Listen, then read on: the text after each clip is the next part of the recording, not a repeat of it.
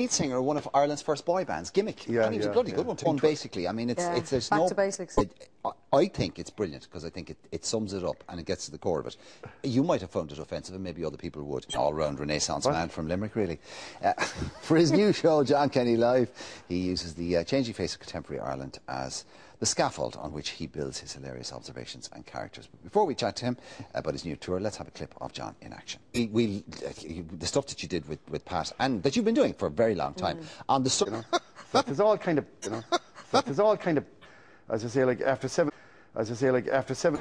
Angry slagging matches between parties, the rising cost of borrowing, and more talks of a general election in the near future. It's going to be an interesting first day back in Leinster House today after the summer recess. So where does our country stand at the moment, both politically and financially, Michael O'Regan? Break.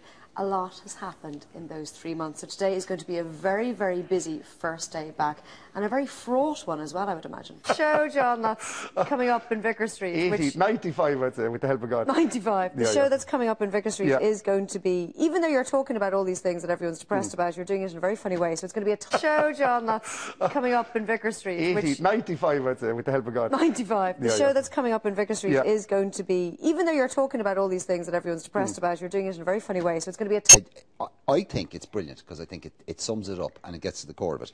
You might have found it offensive, and maybe other people would. Would be a reflection of rural Ireland over the past few decades, warts and all.